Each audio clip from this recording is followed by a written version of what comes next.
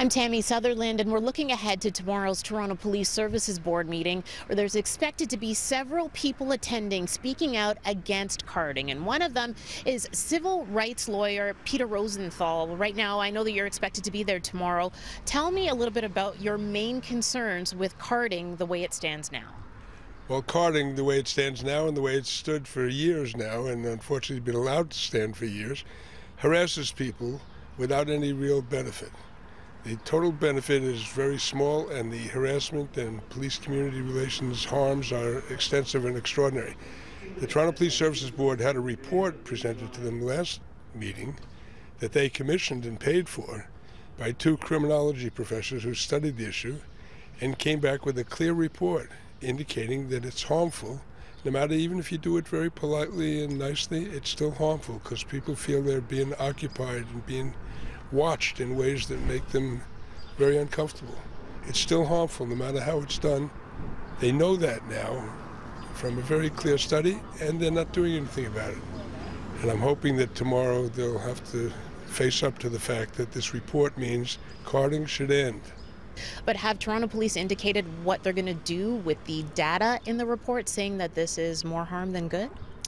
Well, what they said at the last meeting, and you could read the minutes to see, is we're going to see how the report evolves over time and use this as part of our research and evaluating it. But the fact is that this report is complete. It doesn't require anything to evolve over time. There's no further study to be done.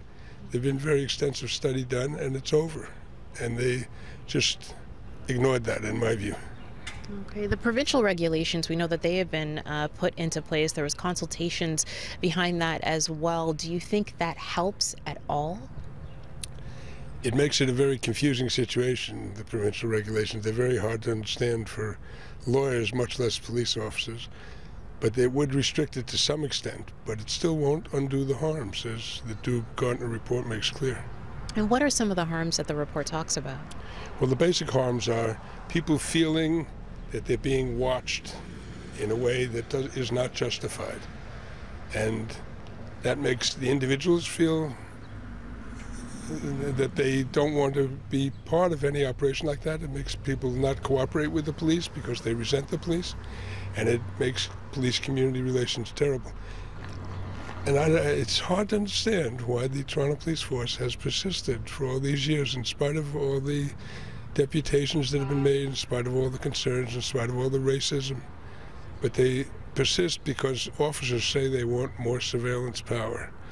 Well, officers always want the power, but civilians have to stop it.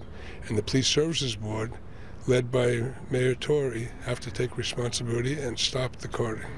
Okay, all right. Thank you very much again. That's a human rights lawyer Peter Rosenthal, and the Toronto Police Services Board meeting will be held tomorrow at police headquarters starting at 1 p.m.